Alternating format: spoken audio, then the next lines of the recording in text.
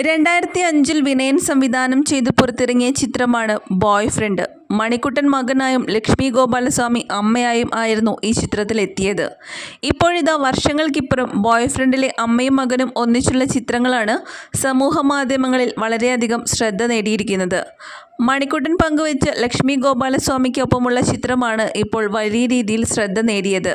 Boyfriend സിനിമയിൽ ഒരുമിച്ച് അഭിനയിച്ചു. നീണ്ട പതിനാറ് വർഷങ്ങൾ പിന്നിടുമ്പോൾ പതിനേഴിന്റെ സൗന്ദര്യത്തിൽ ലക്ഷ്മി ചേച്ചിയോടൊപ്പം എന്ന ക്യാപ്ഷനോടെയാണ് നടനായ മണിക്കുട്ടൻ ഈ ചിത്രങ്ങൾ പങ്കുവച്ചിരിക്കുന്നത്. ചിത്രങ്ങൾ വൈറലാകുന്നതിനോടൊപ്പം തന്നെ ക്യാപ്ഷനും ഏറെ ശ്രദ്ധ നേടിയിരിക്കുകയാണ്. പ്രായം കൂടുന്തോറും ലക്ഷ്മി ഗോപാലസ്വാമി ചെറുപ്പമായി വരുന്നു എന്ന പേരിലാണ് ഈ ക്യാപ്ഷനും ശ്രദ്ധ നേടിയത്.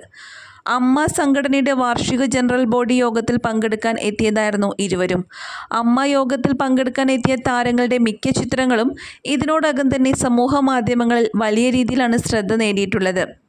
ബിഗ് ബോസ് റിയാലിറ്റി ഷോയ്ക്ക് ശേഷം വലിയൊരു ആരാധക വൃന്ദം ആണ് മണിക്കുട്ടനുള്ളത്.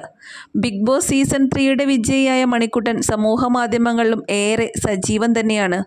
ടെലിവിഷൻ പരമ്പരയായ കായംകുളം കൊച്ചുണ്ണിയിലൂടെയാണ് മണിക്കുട്ടൻ തന്റെ അഭിനയ ജീവിതം ആരംഭിക്കുന്നത്.